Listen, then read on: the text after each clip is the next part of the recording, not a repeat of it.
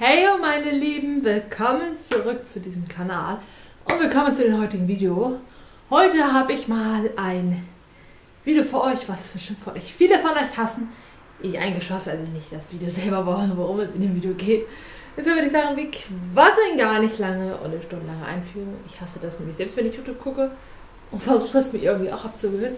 Falls ihr mal ein Intro sehen wollt, das heißt ein Intro, was vor jedem Video kommt, dann schreibt jetzt mit dem Hashtag Intro in die Kommentare. Dann drehe ich gerne ein Intro für euch und füge das jedes Mal, bevor wir mit dem Video starten, ein. So, also würde ich sagen, wir quasi eigentlich gar nicht lange, wir legen einfach mal los. Es geht in das Video, was bestimmt viele Frauen hassen, eigentlich eingenommen, und zwar ist das Pinsel reinigen. So sehen meine aktuellen Pinsel jetzt aus. Äh, Puderpinsel, Rougepinsel, Lidschattenpinsel. Ja, von dem wollen wir gar nicht jetzt anfangen. Der ist normalerweise grau, die sind normalerweise weiß. Der eingeschlossen. Also, pure Katastrophe. Und ich hasse Pinsel reinigen. Schreibt es in die Kommentare, wie oft ihr eure Pinsel reinigt. Ich versuche es regelmäßig alle zwei Wochen mindestens, weil das ist irgendwie echt ekelig nach einer Zeit. Also würde ich sagen, wir gehen jetzt mal zusammen ins Badezimmer und deswegen würde ich sagen, wir sehen uns gleich wieder, wenn ich im Badezimmer bin. So, wir kommen in unserem Badezimmer. Ich muss mich ein bisschen größer machen hier. Das kommt, weil unser Badezimmer-Spiegelschrank so hoch hängt. Als allererstes braucht ihr einfach so ein normales Tongefäß. Da fülle ich jetzt lauwarmes Wasser rein, bis sozusagen der Boden bedeckt ist. So. Als nächstes benutze ich dann noch mein Reinigungsschaum, Reinigungsgel, je nachdem, was ihr gerade zur Hand habt. Da mache ich so oh, zwei bis drei Spritzer rein. Eins, zwei, drei. Vermixe das so ein bisschen mit meinen Händen, bis das anfängt zu schäumen. So. Und dann gebe ich noch etwas von meinem Garnier Reinigungswasser in der Richtung Waterproof. Das ist für mich aber ganz wichtig, dadurch werden auch wasserfeste Reste von eurem Pinsel entfernt und bindet sich nicht nur zum Innenreinigen, sondern auch zum Abschminken. Das heißt, falls ihr ein gutes Gesichtswasser sucht, es ist ein bisschen teuer mit 4 Euro, aber ich liebe es. Und dann mache ich jetzt so, weiß ich nicht, 3, 4, 1, 2, 3, 4, 5, 6, 7, 8 Spritzer rein. Wollen wir nicht zu geizig mit sein. So sieht meine Schale jetzt aus. Und die stellen wir jetzt auf der Waschmaschine. Ich dafür Platz habe drehe euch jetzt einmal kurz. Ah, das ist jetzt das Vorergebnis von den Pinseln und ich zeige euch dann das nach, danach Ergebnis. Ich tunke die jetzt erstmal hier so ein bisschen ein und lege sie dann rein. Damit die sich erstmal schön mit dieser Flüssigkeit aufsaugen.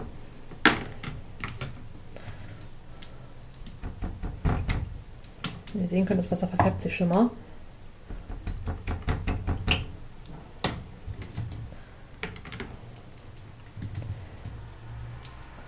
Und schreibt in die Kommentare, wie oft ihr auf jeden Fall eure Pinsel reinigt. Das würde mich sehr interessieren.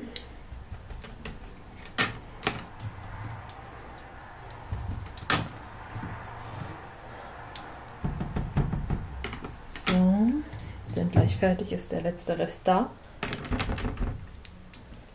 Der Applikator rein. Mein MAC-Pinsel muss rein.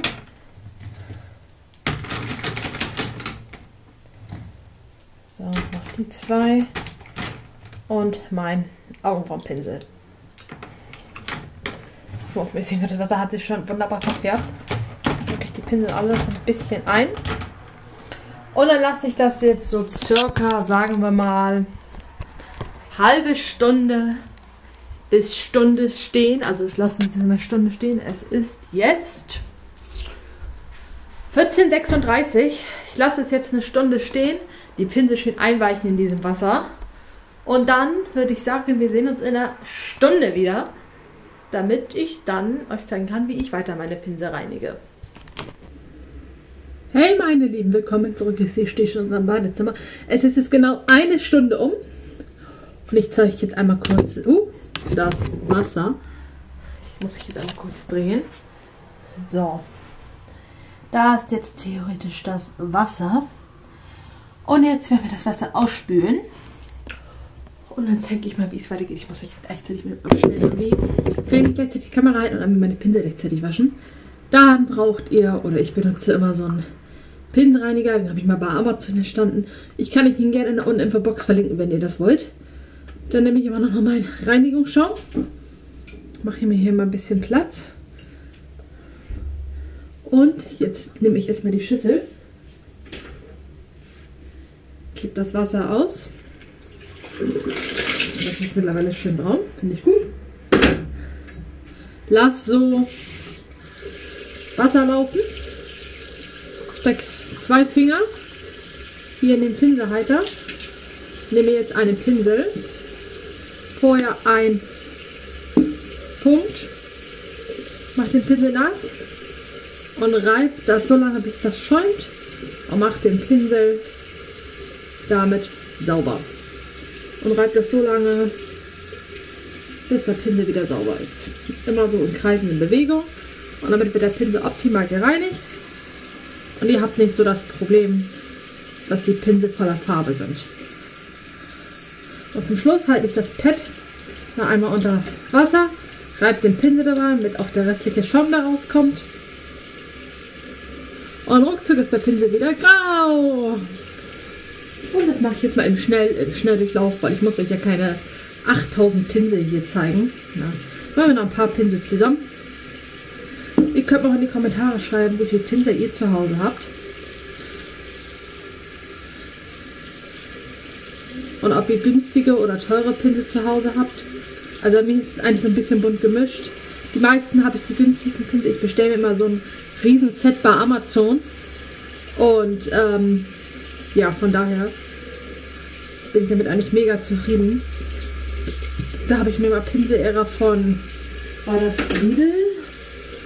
Ich glaube, es war Lidl, ja, so ein Pinselset von Lidl schenken lassen zum Geburtstag. Das war letztes Jahr. Und äh, da sind die Pinsel schneller kaputt gegangen, obwohl die fast, ich glaube, 6 Euro mehr gekostet haben. Als die günstigen Amazon Pinsel, ich glaube 10 Stück, 3 Euro oder so. Also das hat schon irgendwie was zu heißen, finde ich. So. Und der dritte Pinsel ist fertig.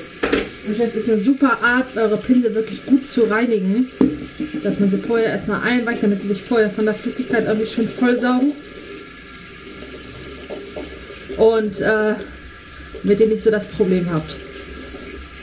Und was ich cool finde, dass es hier so zwei Seiten hat. Damit kann ich wohl nicht so gut mein Pinsel reinigen, aber hier oben mit den Punkten. Finde ich das eigentlich ganz praktisch. Der Pinsel ist auch noch braun. Aber das ändern wir jetzt auch mal eben.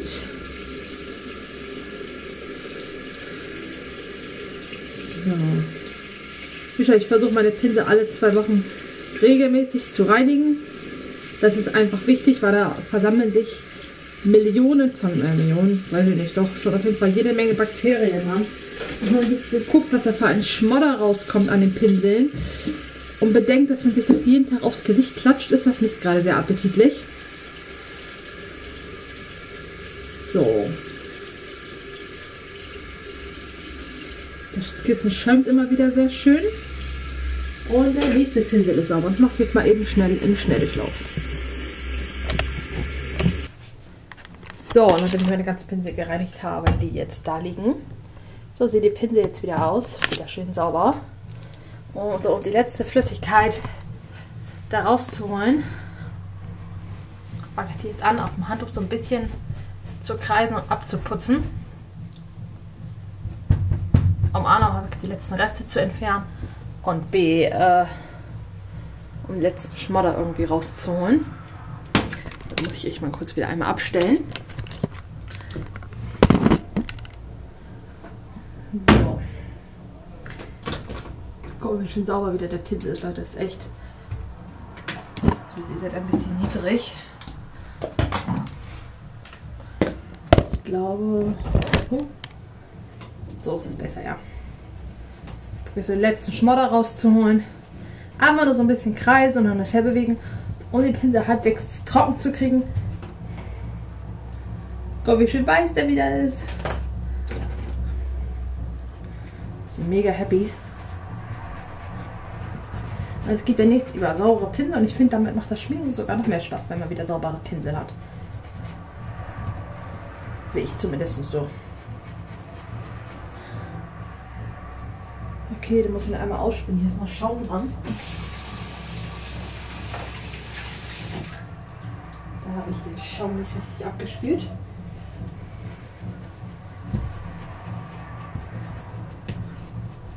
Wir wollen jetzt ja keinen Schaum ins Gesicht klatschen, ne? Ja, jetzt ist besser.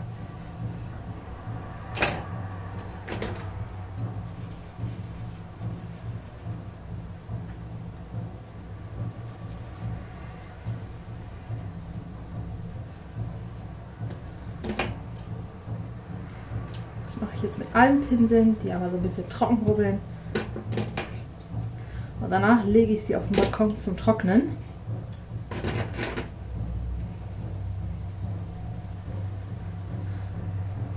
Damit die schön trocknen, damit ich sie morgen wieder verwenden kann.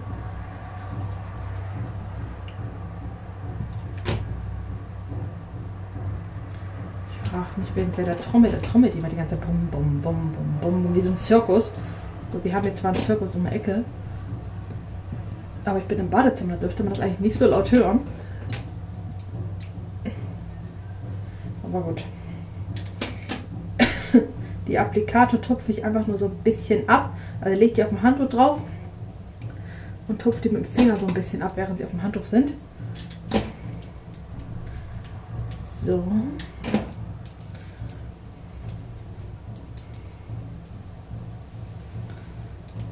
jetzt nehme ich meine ganzen Pinsel.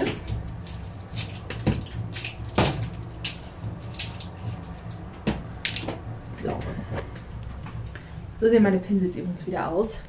Schön sauber, sogar der ist wieder sauber, mein Kabuki-Pinsel, den ich zum Bronzen verwende. Da war so viel Bronzepuder, so viel Bronzepuder dran, das ist phänomenal.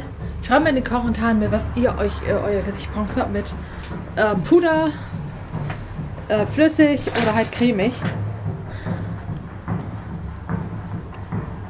Jetzt solltet ihr das aber auch hören.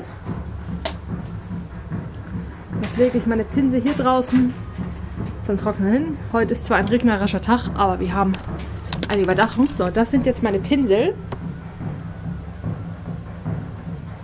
Ich würde mal sagen, türkische Hochzeit. Ja, könnte man sagen. Das sind jetzt meine Pinsel, sind alle wieder schön sauber. Jetzt werde ich mich eben noch von euch verabschieden. So, meine Lieben, ich hoffe, euch hat das Video gefallen. Gebt dem Video auf jeden Fall gerne einen Daumen nach oben, wenn euch meine Pinselreinigung gefallen hat. Ähm, abonniert mich, falls äh, abonniert mich, falls ihr es nicht gemacht habt. Das ist gerne kostenlos. Aktiviert auch gleich die Glocke, um keine Videos von mir zu verpassen. Und auf jeden Fall sehen wir uns bis zum nächsten Video wieder.